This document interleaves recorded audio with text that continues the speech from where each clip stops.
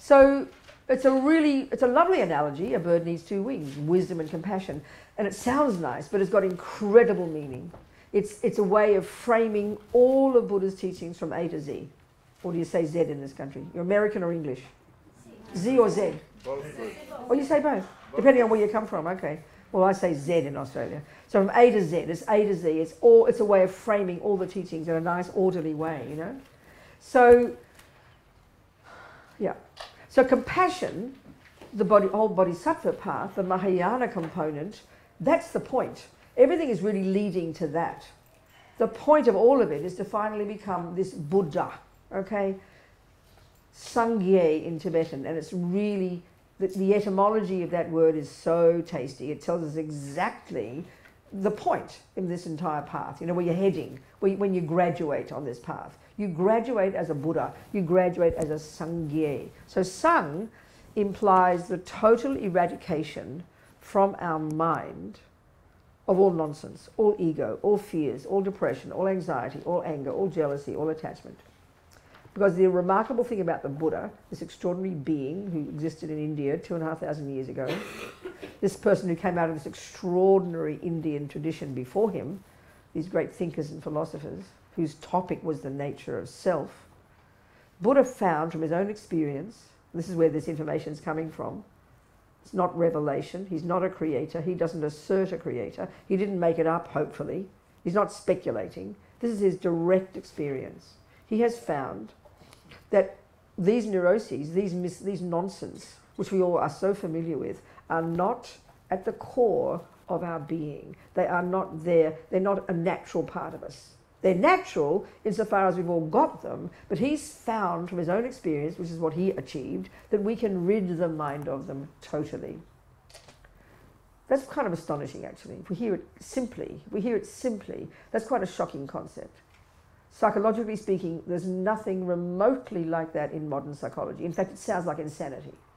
Because we consider anger, fear, depression, jealousy as so normal that we factor them into ordinary psychology as normal parts of a normal human being. So much so that we would think you'd be abnormal if you didn't have them. So to hear what Buddha's saying is quite shocking, you know. And that's what he's saying. This is the point of being a Buddhist. Everything you study, think about, meditate on, anything you do, think, say, practice, all of it should be advice and methods that lead you to this. Now, that's the accomplishment of the wisdom wing. Speaking roughly. Not only that, but sangye. Gye implies the development to perfection of all the other stuff inside us compassion, love, empathy, intelligence, you name it. We all know that too. That, Buddha says, is at the core of our being, indestructibly so. This can't ever be removed. This is kind of, this, it sounds so strange to us. First of all, because we think the mind is the brain. That's fine. Modern psychology talks about that. Well, this is a different model, okay? So then for us, this is just weird talk. That's why we think it's mystical. That's why we think it's religious. But hear it really simply, really down to earth, really simple psychology. Buddha is a psychologist, and I am not being sarcastic. The mind is his expertise. Everything in Buddhism comes down to the way the mind is, and everything is for the purpose of changing this mind of ours, ridding it of all the rubbish and growing all the goodness. That's Sangye, that's Buddha, that's the goal, that's the result. That's the point of all of this. So, so even to hear this clearly is quite shocking because our assumptions are so deep about all this stuff. Having neuroscience, having all the, the modern psychologies, all the views, you know, this is not something that's posited. It's like a mad idea. That's why we think it's religious. That's why I put it in the sky and mystify it, you know. So hear it really simply. This is what Buddha, this person who lived two and a half thousand years ago, this is what he has found directly, experientially in his own mind. This is, and he presents his methodology. That's it. And all he's saying is, over to you guys. If you're interested in this, here are my findings. You start practicing it yourself. That's the approach in Buddhism, because he's not a creator. Therefore, he's not asking him to ask to believe what he's saying. That's a meaningless concept. It's part of the process. You have to have trust in somebody. If you've never studied acupuncture, you'd better trust your acupuncturist, but you don't just do that because they're cute. You do that because you've checked up on their, on their reputation, you've checked up on their knowledge, and so you've got confidence. Confidence, confide, with trust, with faith. But it's not just faith, which is how we tend to think of religion, you know. Not the Buddhist approach at all. It's just superficial. You won't get far with that. That's like believing in mathematics. Oh, I believe in mathematics. Well, I'm very happy for you. It works. But what good is believing in it? Your mother tells you to go buy three oranges and you don't know how to count. Well, you're useless, aren't you? That's why belief is, we, we think of religion as belief. And why is because God is superior. I'm not being rude. And God made the universe. God is the boss. God, God, God runs the show. So it's, he's got a plan. That's completely fine. If you're a good Jew, good, good Muslim, good Catholic, go for it, please. Have faith in God. I am not criticizing. That's just not Buddha's view, that's all. Completely different, fundamentally, in many ways. They've got many similar conclusions, but the fundamental point is this one. This is crucially different. So the Buddha is said he was a regular guy who came to observe all the things that he says. So then if he can do it, we can do it. It's kind of logical. Logical deduction, you know. Logical. And that includes all the things that he talks about. The Buddhist worldview includes consciousness not being physical. We'll go into this. Past lives, future lives. We assume that's religion so it can't be known. No, of course not. Of course it can be. Buddha has found it to be true from his own experience. Not from putting a microscope on a brain, which is what we think, but putting a microscope internally on his own cognitive process, his own mind itself. This is where Buddhism comes from the experiences of a person called Buddha and everybody else who's done the job since. You know, this is the approach. So the way then to take all this, if you decide to be a Buddhist, like say in my case, then why, the way I say it, and I mean it very sincerely, I never use the word. I never say I believe in karma. I never say I believe in reincarnation. I never say I believe in emptiness or believe in bodhicitta. It's ridiculous. I say I take this model as my working hypothesis, and that is the correct, the, the correct approach to it, to any body of knowledge that you want to learn. We understand that in the ordinary world. We don't get it confused. But the second we say the word spiritual or religious, we lose all our common sense, you know. It's so ridiculous. And it's very deep in us to do that. So Sangye, Buddha, the two wings of the bird. The point of all of it is the, the, the compassion wing. But as the Dalai Lama says, compassion is not enough. You've got to have wisdom. So let's look at what that means, you know, because it's got it's a nice word and it sounds a bit holy, but it's not meant to be. This gets us to the point in Buddhism, the mind. We have to understand. If we're interested in Buddhism, we have to know what he means by the mind. We can think what we like, it's okay. And you can indeed, you can take some Buddha's tools and never think about what he means by mind. You can still think your mind is the brain. I don't care. Think your mind's in your toenail. I don't care.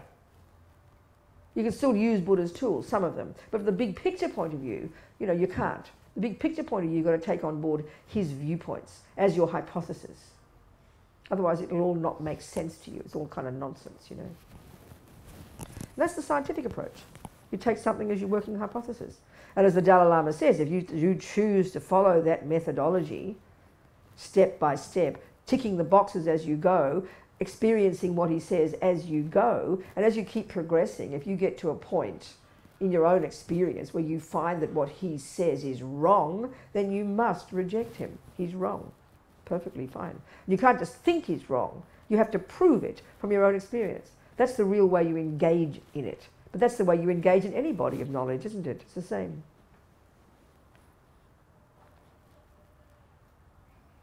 So, what is the mind for the Buddha? You might as well use a different word because it's so fundamentally different in so many ways, you know. Well, first of all, for the Buddha, absolutely starting point, your consciousness or your mind, these words are synonymous, broadly speaking, is not physical. It is not the brain. It is not even a function of the brain. When I was working on Lama Zopa's book about death, and I read a book by an American medical journalist called The Undead. It's not about zombies, it's about all the, the contradictions and problems that are happening in the United States now. That was his expertise, that area, about because of farming organs, cutting out organs at the time of death. Big contradictions and conflicts now people are finding in the medical profession about exactly what is life and what is death, which is fantastic. I'm glad they're questioning their assumptions. But one doctor Because, you know, people, there's always been all, never mind, but we'll, discuss more. But one of the things one doctor said, I can say now with certainty that mind, that consciousness is not a function of the brain. I don't know what it is, but that much I can say. So that's good. That's excellent. Buddha, Buddha, this is Buddha's point. So, okay, your consciousness is not itself the brain. The brain plays a role. This is completely obvious. And the way I'd put this is the brain is like the physical indicator of some things that are going on in your mind. That's the way to put that. Of course, if you're a neuroscientist, you'll be completely shocked at my absurd statement. But all I can do is tell you what Buddha says, okay? Buddha, you know, he came along first. He has some precedence. okay, so your consciousness is not physical, not, a, not the brain, not even a function of your brain. Affected by the brain, affected by the entire nervous system, affected by the body. That's obvious. Things are highly interdependent. Second, this is clear. Your consciousness goes to far, has far more subtle levels of cognition. The job of mind is to cognize, to know, to be aware. That's its function. It has far more subtle levels of cognition than we in our modern world that only posit the brain absolutely do not posit as even existing, which again is why we think it's mystical. You know? Far more subtle levels of consciousness. And this amazing technique that these Indians before the Buddha created as the Dalai Lama said, it was these amazing Indians more than 3,000 years ago who were the ones who first began the investigation into the nature of self. It wasn't Mr. Freud 150 years ago, it was three, more than 3,000 years ago, these amazing dudes. And Buddha got, came out of that culture. They created this technique called single pointed concentration, shamatha. This amazing, sophisticated psychological skill that enables you to completely subdue the grosser level of consciousness, all the chaos of all the crazy thoughts, and the sensory. So, of course, as I'm saying, we don't posit anything beyond that because we stuck, we're stuck with the view it's the brain, you know. So, there are the, so with this technique, you can go beyond that grosser level. You can completely subdue the grosser level to access these subtler levels of our own mind. And this is that's what their expertise was. Buddha came along, used that technique, involved in all the philosophy, and then he diverged in his own direction, specifically in relation to his own findings about the nature of self. so this technique is one of the central techniques still in Buddhism. He took it from these Hindus. I mean, they're happy to share, they don't mind. So the mind has got far more subtle levels, far more subtle. And this is unbelievably necessary. If you want to take on board the big Buddhist view, you've got to take this on board as a hypothesis. These techniques enable you to do that. The techniques are there. If you're really qualified, you can get it in a couple of years. You'll find out for yourself. And therefore, you'll have the, you'll will have accessed this subtle level of mind that has far more powerful capacity for cognition. It's, it can cognize things that the grosser level can't, such as beyond the sensory, such as the past, the future, the minds of others. This is mystical to us. This is completely fitting in this model, and it's the experience of countless millions of beings over the centuries. It's all there. The techniques are all there, laid out for anybody who wants to practice. So your mind goes to more subtle levels that don't depend upon the brain. If you were to see a person who'd accomplished single pointed concentration, they would look like they were dead. Your consciousness is not physical. Your consciousness goes to more subtle levels. And this is the shocking one. If you're a materialist, this flies in the face of your view. And if you're a Christian or a Muslim or a Jew, this flies in the face of your view. Buddha says your consciousness does, you are not the handiwork, your consciousness, your mind. Sorry, before we say that, the next thing about the mind is that word and consciousness are used to refer to the thoughts, intellect, feelings, emotions, unconscious, subconscious, instinct, intuition, this entire spectrum of your inner being, all of that is equally mind or consciousness. Buddha doesn't have a term like spirit or soul.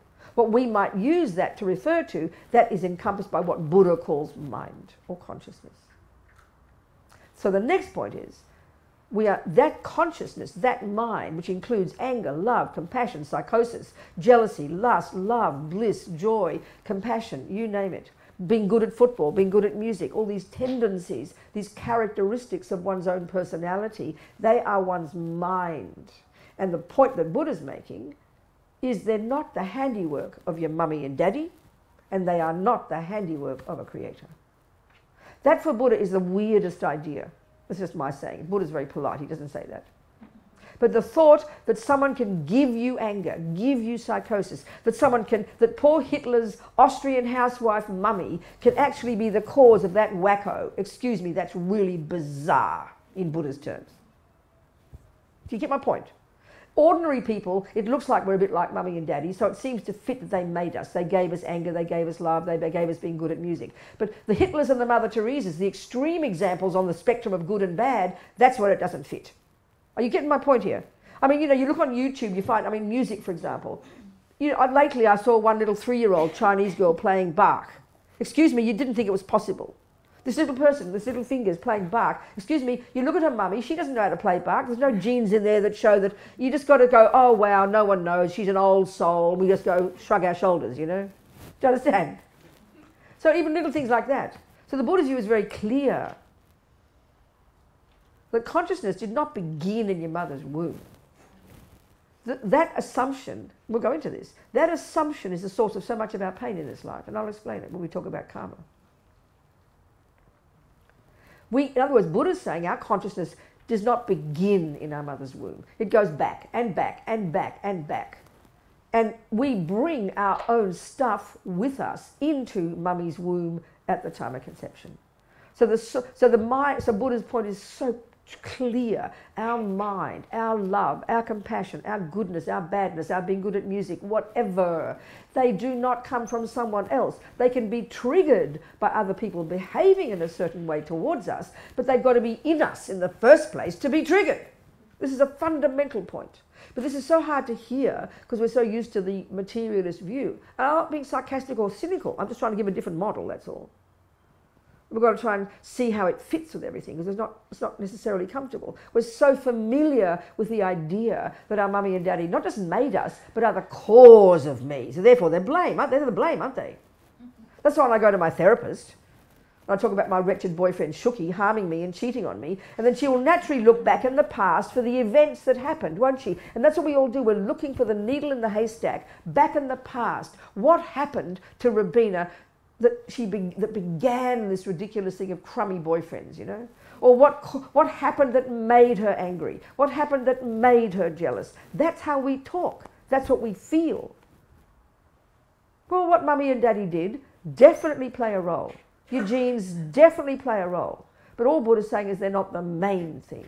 And this takes time to hear, you know.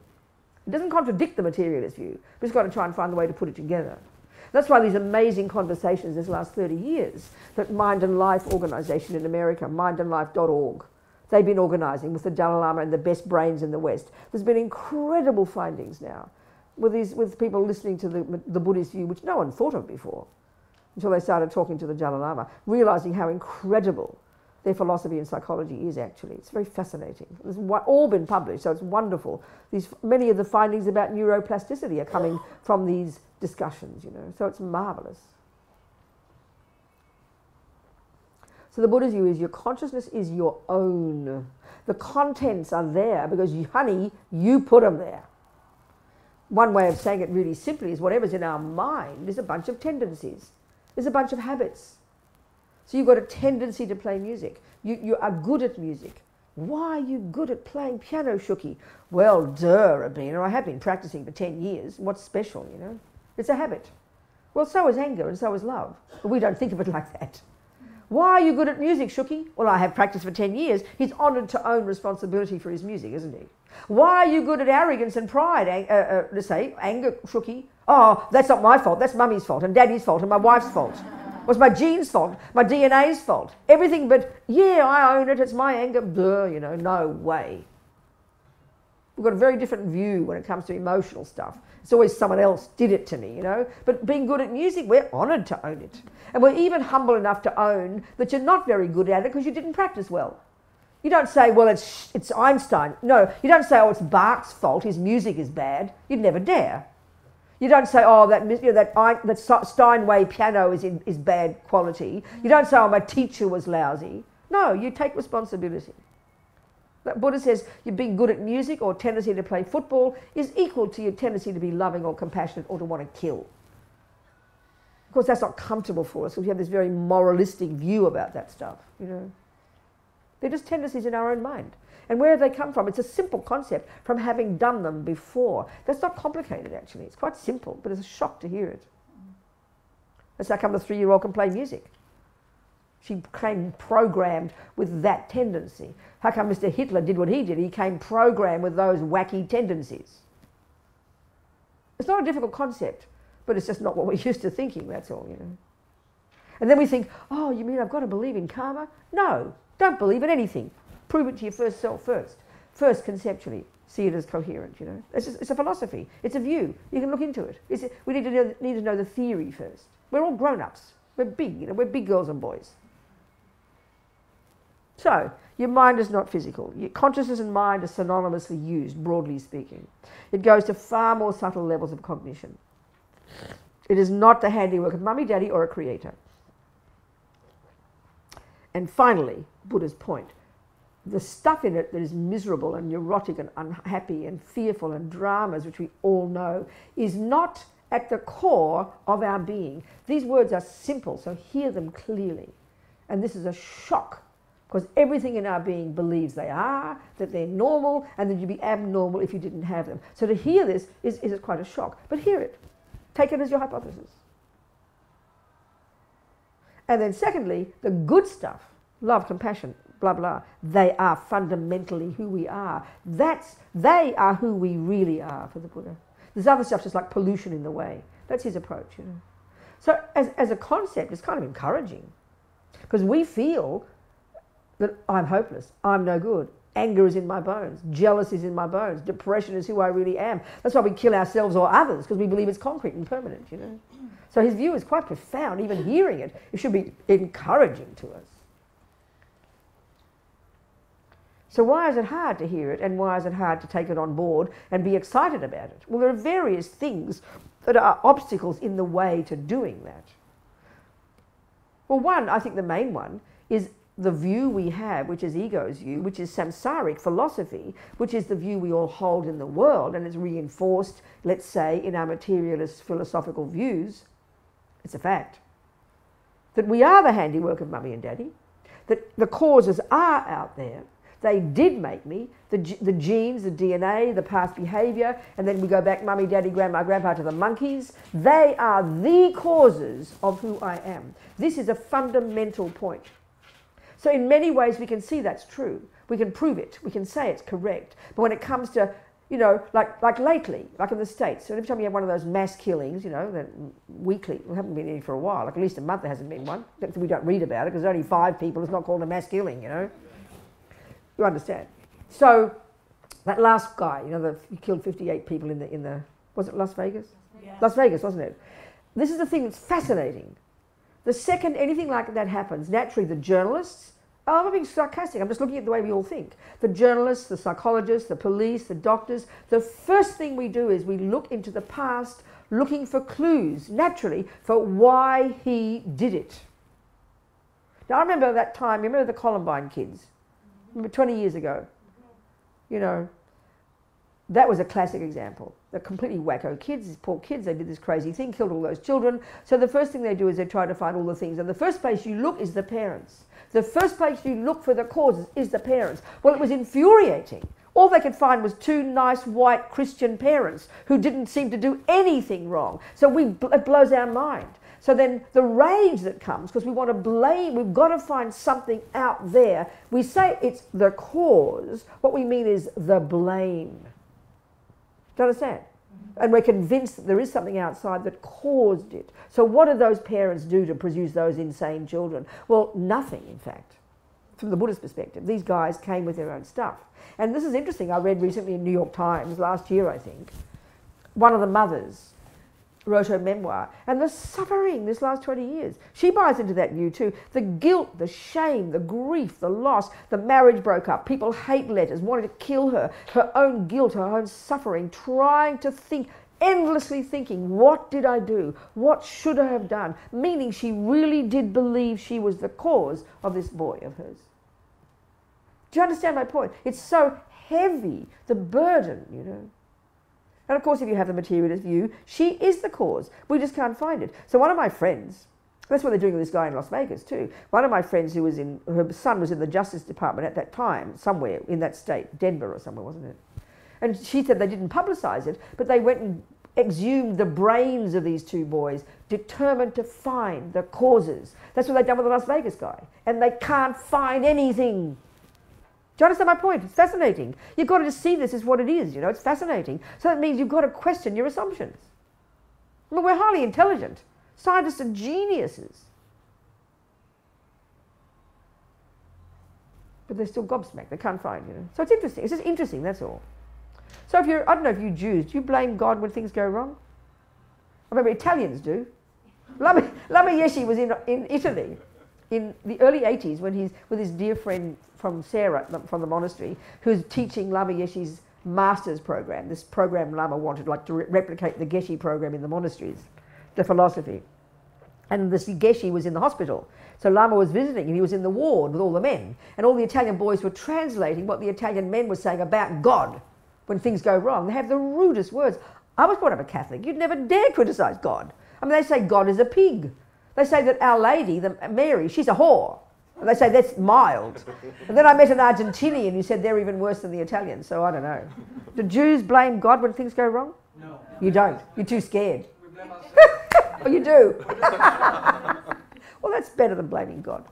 It's, it's just as ridiculous. Anyway, I'm joking here. But we don't like to blame God, but we love to blame mummy and daddy. And all our science leads to that. It leads, no one, I mean, the suffering is unbearable. So sure, mummies and daddies can be bad. And then it fits for us. So I remember reading at the time about the Columbine boys, and no one could find the cause, so they're going crazy, and who to blame, you know. At the same time, I read about some little six-year-old black kid whose mother was a junkie, whose daddy was in prison, and the little boy shot his sister. So all the boxes were ticked. Oh, that makes sense. We just close. Oh, that, that all makes sense. You know, poor junkie, blah. You know, it's too superficial. So Buddha happens to have another view. That's all. He happens to have another view that the consciousness is, goes before, comes into this life, programmed, not with mummies and daddies and the monkey stuff, but with our own stuff. This is not a complicated concept. You just have to hypothesize a river of mental moments. And this other view, which is expressed in this law of karma, which is very simple, really. This view that, again, Buddha did not make up. This is the point that I've got to really stress again. This, take, this takes time to hear it, oddly enough. Because we're so used to religion being a creator who is the source of everything, right? God creates the universe. God creates me. God creates the laws, therefore. So, therefore, naturally, at whatever level, God is the boss. Therefore, whatever level you think of it, God holds the power to punish and reward. And that level is how we think of morality it's punishment and reward, you know? And it's the same in our mother's household. I always quote this.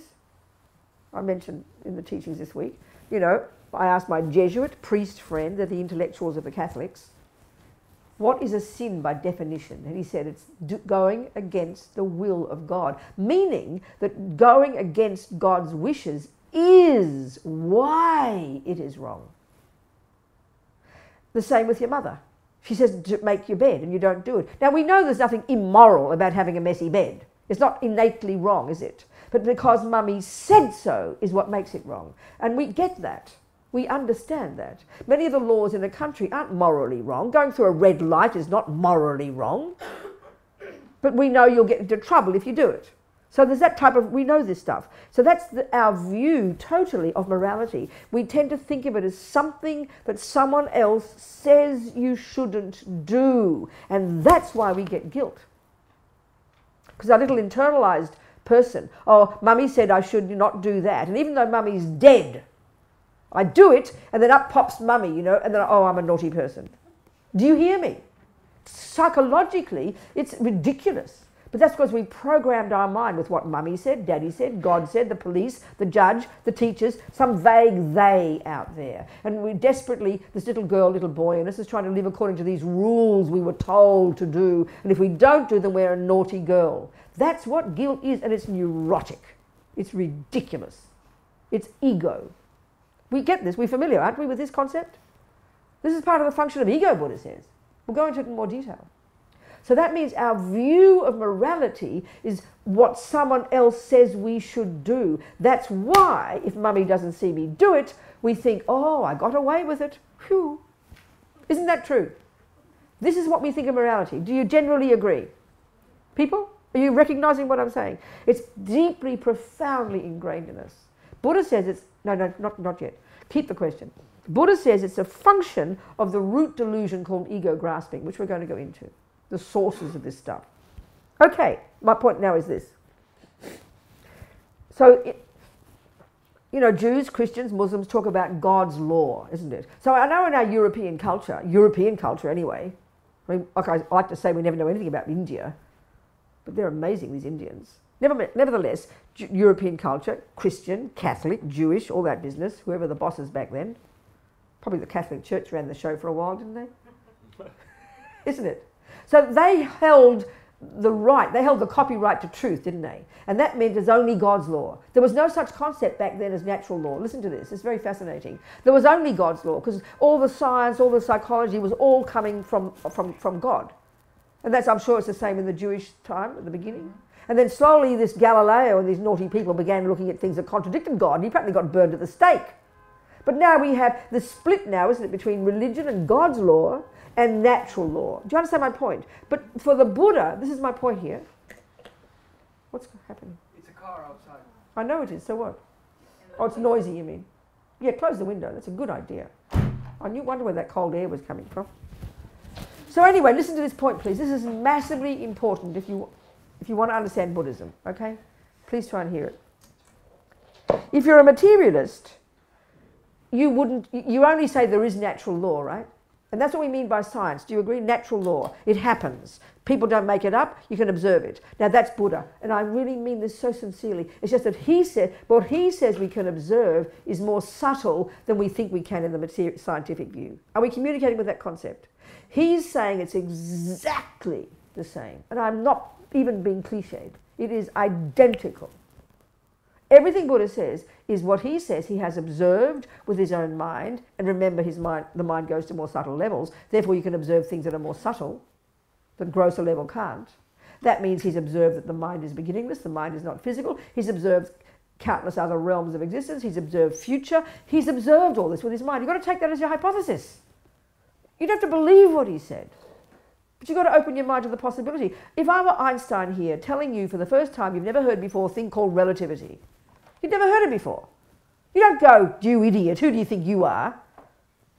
You go, well, that's interesting. I never heard of that before. You either say, thanks a lot, bye bye, and go back to your chocolate, or you think, I'd like to look into that. You know, but we're too scared to sometimes. We just want to dismiss it as absurd nonsense, which is how we think of religion. So Buddha only posits natural law. This is a massively important point to get. I'm not asking you to believe, you know.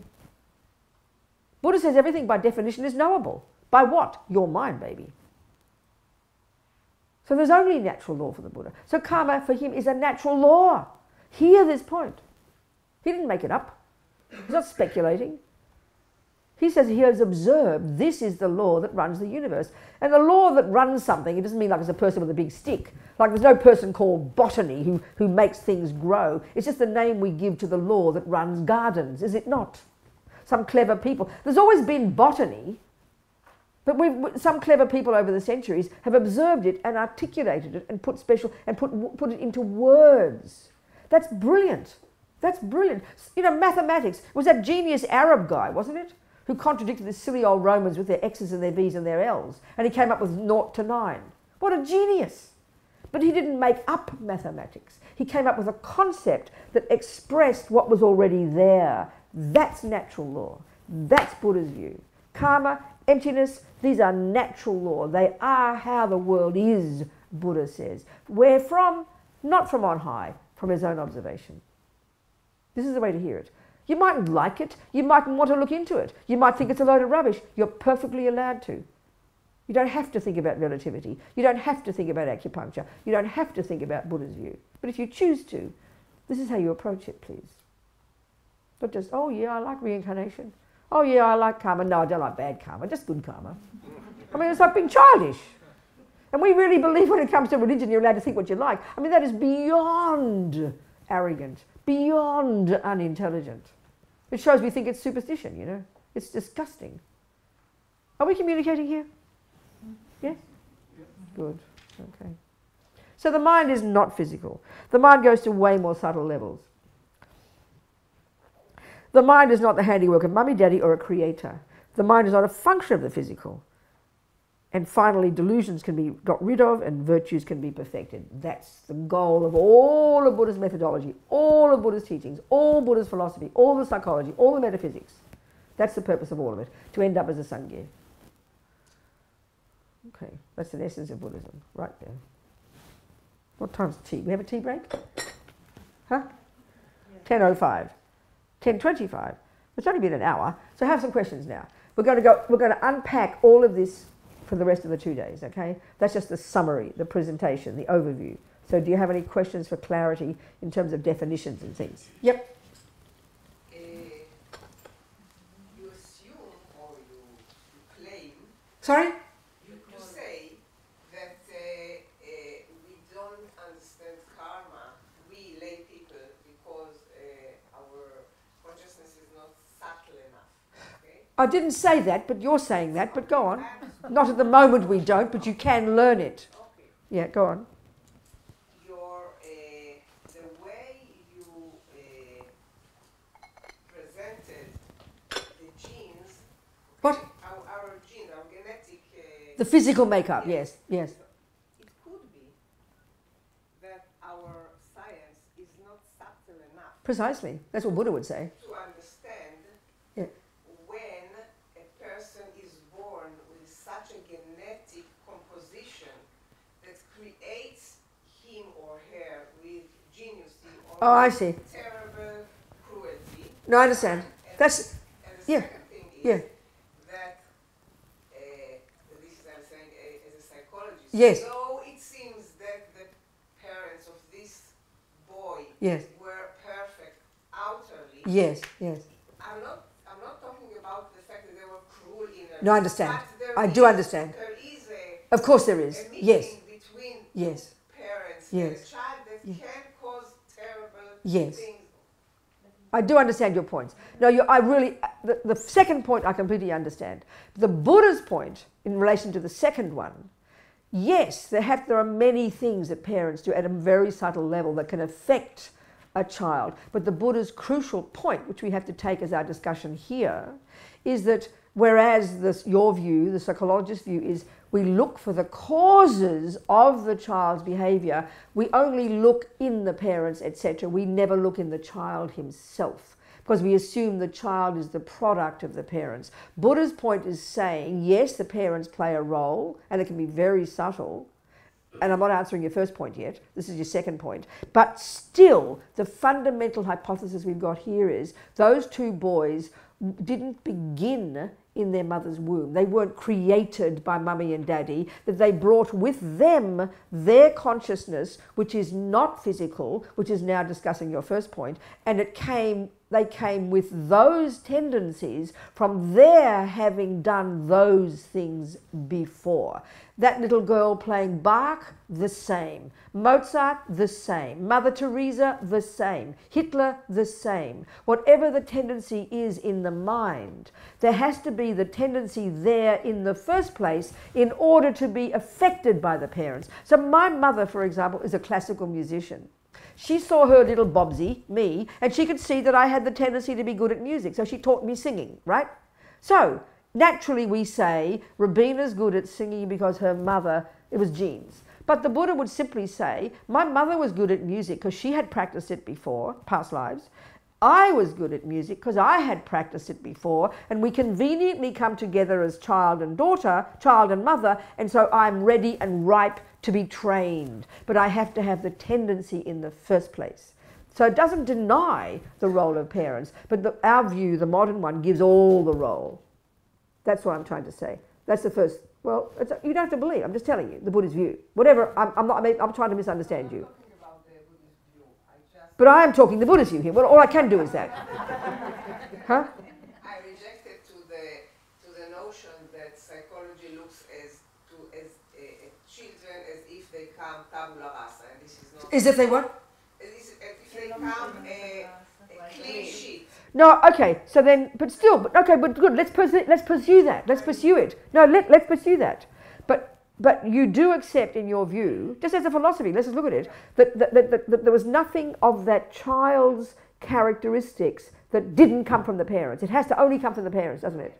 That, okay, that's the point I'm discussing. That's all. That's all. That's all. But the first point, again, your assumption is that maybe science has not yet found. You might be, but still, nevertheless, the Buddhist view is this crucial point that physical is physical and mental is not physical. That's all. So they're the two things. That's all.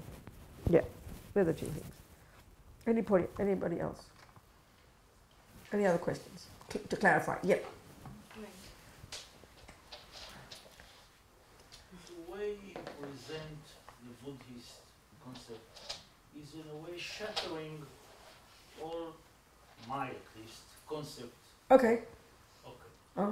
Number two, I have big difficulty in the field of language because it's English language translating into Hebrew Mm. and maybe I suspect Sanskrit language also. Okay, go on. I know what brain is. Yeah, I I understand. think I know. This is it is it's here. I understand. You are talking about words that I don't know how to translate them. Which, so which words? Give, be precise. Which words? Sorry, what? Awareness. Well, you just have to ask me what it Mind. means. I will tell you what it. What is mind? Uh, okay, What- that's what we're trying. So all, all I can ask you to do is keep listening. Okay, thank you. It won't come overnight. As the Dalai Lama said, it's easy to give all the words and the definitions, but if you think about it, it seems very kind of sneaky to think of something that isn't physical, to try and identify something not physical. It just sounds too weird. So all we can do is have the words first. All we can start with is the words. I mean, you know, if you're trying to learn acupuncture, as much as you will learn about a meridian, you can't see it with a microscope, you know. So it's, it's a really interesting body of knowledge. It's very subtle. But lots of people can see this benefit, and it's a, it's a system that people use, so it's not that easy. So here, all Buddha's saying is, this is what, I'm giving you the, the, the various words. So just take those on board as a theory, and then the Buddha's saying, if you take this on board and eventually you learn single pointed concentration, this amazing technique these Indians invented before the Buddha, and you learn yourself to develop this extraordinary focus that enables you to go to these subtler levels of mind, your own self. Then you will begin to experience yourself the nature of your own awareness, your own mind, your own cognitive process. That's when it becomes experiential. But all we can start with is the theories. What else? So relax with it. Enjoy the theories first. Don't squeeze our brain to try and get too much before we're ready for it. This is, do you understand? That's all. What else? Any more? Clarity? Yes. If Beethoven and Bach, If what? if Beethoven Yeah, and Bach. Yeah. uh, born musical, Yes, that's right, with their own tendencies. Yeah. was musical before. Have to be, yeah. In the future, Yeah. Hitler, when he born again in the future, Yeah. become crazy. Unless he, unless he, He might. unless, no, unless he, um, who said that? He might be. he Well, let him say what he likes. He's allowed to say that. That's okay. It okay. It's not as it's not as simplistic as that. We it, if, if the, the point is, and this is where it just sounds so weird to us. If we didn't start in our mother's womb, then naturally our next question is, well, where did I begin? Because we all have that question. Well, Buddha says, sorry guys, you didn't begin. Which go, huh, excuse me. It's too weird, you know. So even get the idea that, that Bach's consciousness goes back and back and back and back, countless lives. So the second point is this, the crucial point to even, we'll go into this in more detail. This is where we talk about this law of karma, this natural law that, that all the minds and lives of sentient beings are, can be explained with. That every millisecond of everything Bach, Beethoven, Hitler, you, whatever, think and do and say, none of it goes astray. Every millisecond, it's programming your consciousness. And I'm not talking again the brain here. We're discuss- it can also be that, but we're not discussing that. We're discussing your consciousness, your non-physical river of mental moments. And so you come in. So Bach came into this life with just a tiny few of his tendencies. We've got tendencies to be a, a hell being, to be an animal, to be a whale, to be a dog, to be a Hitler. We've got all those, ten- all those tendencies buried deep down from past lives. But in this particular life, just a few of our tendencies ripen. Do you understand? So Hitler has, been a, has had countless lives like the rest of us. He's been a dog, an animal, a monster, a, a saint. He's had, he's had high. For me, he's clearly been a Buddhist before. I mean, where do you think he got the swastika from? Where do you think he got the idea of Aryans from? You know, it's the Arya being, superior being that the Buddhists talk about. Just that he made a mess of it, obviously, at some point, and he comes into this life with a bunch of wacko ideas and uses it to harm people. I mean, pretty intense. But clearly, he's got these billions of tendencies. So then the next point is every single thing he did in this life, every millisecond of every thought, every action, and every word, again, is programming him. So what he did in this life is the fruit of what he did in the past, and what he, what he, what he experienced in this life and did in this life is the result of the past. Just like if you play piano, it's the result of your hard work. So, but everything he does now is creating the cause for countless future and clearly lots of future suffering. But he's still got all the virtuous tendencies there. So at some point, he, like all of us, can finish that. So it's highly complex in the way Buddhism is talking about it. Are we communicating or not? Okay. Yeah. So I'm continuing his line that he had a choice. If everything is programmed, do we have Uh-huh. a choice? But everything is programmed. But everything is programmed. What, what would it be if it weren't programmed? I mean, Western psychology and science says it's programmed, but programmed for mummy, daddy, and grandma. So we all think it's, we know it's programming. What, what choice do you want? But who says you don't? Just because you hear programming, why would you think you don't have choice? Where do you, why do you get that idea? Why do you think it contradicts? Why do you think it contradicts choice? Is my question to you. Why would prog? But I mean, if you if you sow if you if you grow a garden, you very specifically put in the you know the veggies and the this and the flowers and the herbs, and the garden comes. Well, it's the fruit of past causes. So whatever we are now is the fruit of past causes. Whatever we do now sows seeds to bring the future causes. That's the idea, which I think we understand. It's called it's called science. So why I'm asking you, why does that principle contradict choice? That's my question to you. Why, you have to ask that question for yourself. Why, why do you assume it contradicts choice? It's, everybody has that question. It's the commonest question we all have. It's very fascinating. Let's just leave it for a while and we'll talk more. Especially. Not especially. Believe me. On the free, the free will. Yeah, but that's a Chris. I know, but it's a Christ, it's, that's a teaching coming from God. Christians say the same. But if you analyze those words, think about those words for a second. Free. Free, what does it mean, free? Will. So the Buddhist answer would be this, and I think we have, okay, I'll, I'll say one thing, and I think you'll all agree with this. Just again, think anger's a ten- let's say anger's a tendency in somebody's mind. Let's say playing piano is a tendency in somebody's mind. Now, if you have such a strong tendency, let's say Shuki is good at playing Bach, and he's perfected it, and he just so you can almost say he's practiced so much piano that he has no choice but to play the notes right. He doesn't even have to, he doesn't say, Will I choo- choose middle C or D? He just spontaneously plays it because he's perfected it. Can you accept that? So, what do you mean by free will? It's a joke to say that. He's programmed himself with music. Now he just plays spontaneously. It's the same with anger. If, he's, if you've got such anger, you could almost argue you can't access your patience. You just be spontaneous. So that's really, in a sense, of course, we all have the potential to choose. That's what Buddha would say. Everybody has the chance. There's nothing permanent, nothing set in stone. But when you practice something very strongly, it's like you've got no choice. And I think that's very realistic. So we tend to think that free will. Okay, if you we've all got tendencies, right? We get jealous easily. We might get attached easily. We might get angry easily. We might get depressed easily. We all agree.